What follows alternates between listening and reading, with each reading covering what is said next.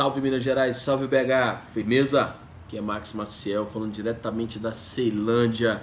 Quero mandar um abraço aí para minha irmã Áurea Carolina, pré-candidata a deputada federal pelo PSOL. Somos muitas, irmãs, somos muitas e vamos dominar esse país.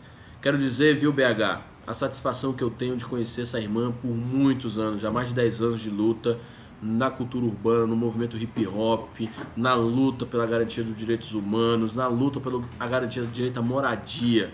A Áurea Carolina, com certeza, aqui no Distrito Federal, vai representar não só BH, mas todo o país.